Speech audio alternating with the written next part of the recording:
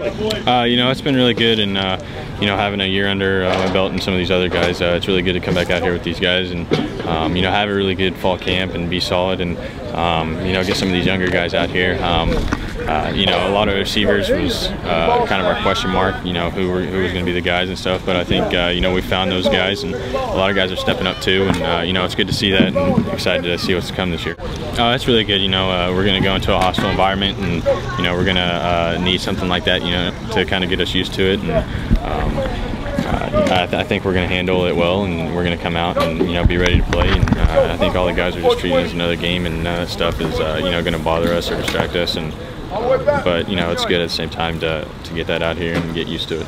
Oh, you know, the camaraderie uh, in offensive line is, is huge. Um, you know, knowing knowing everyone's tendencies and in uh, in certain times where a lot of people don't see that side of a person is uh, is a really big thing and it's, and it's cherished. You know, we're uh, we're always brothers out there and we always look out. We always have each other's backs, so it's uh, you get things done a lot faster. Um, you know, there's that sense of uh, like uh, telepathy with with one another, and um, that's that's huge. So I appreciate it, man. Thank you. Um, take care.